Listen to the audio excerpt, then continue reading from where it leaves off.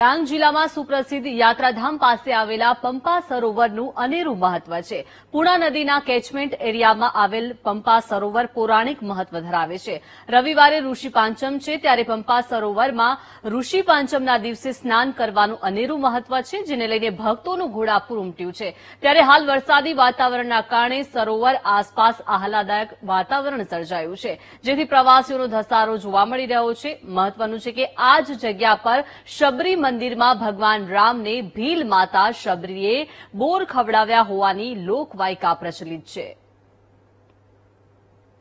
તો પંપા સરોવરનું આ અનેરું મહત્વ જે છે તે સામે આવ્યું છે અને ઋષિ પાંચમે સરોવરમાં સ્નાન કરવાનું પણ મહત્વ રહેલું છે.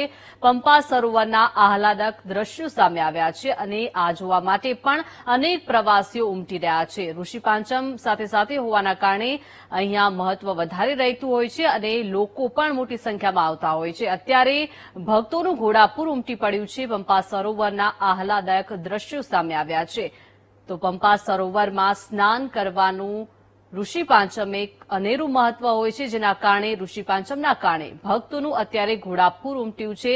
વાતાવરણમાં પણ ઠંડક જોવા મળી રહી છે, જે રીતે વરસાદ વરસી રહ્યો છે અને પંપા સરોવર અત્યારે આ આહલાદક નજારો જે છે તે જોઈ શકાય છે અને આ જોવા માટે પણ મોટી સંખ્યામાં પ્રવાસીઓ દૂર દૂરથી આવે છે.